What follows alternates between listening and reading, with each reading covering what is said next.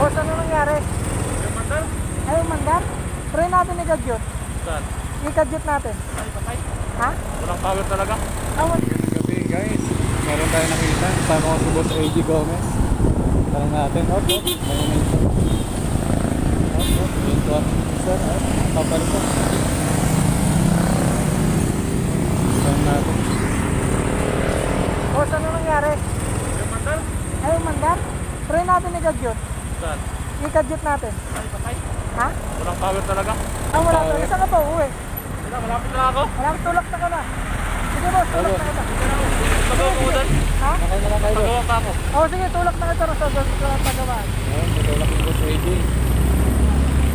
Kuya, ang Boss. Sige boss. Pagod na pagod ka mo, malayo na tinulak ko sir ah. Talaga? Malayo?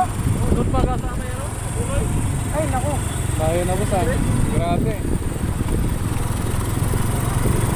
Buti na lang. Nagaanan na Boss AG. Kuya.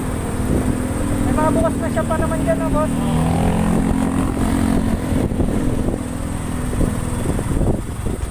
Makakapagod yung ano.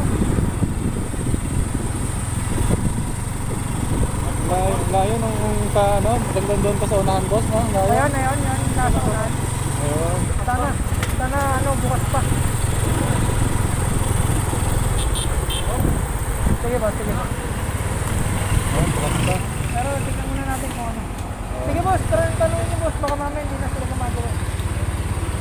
Para... Tanong nyo muna. Boss,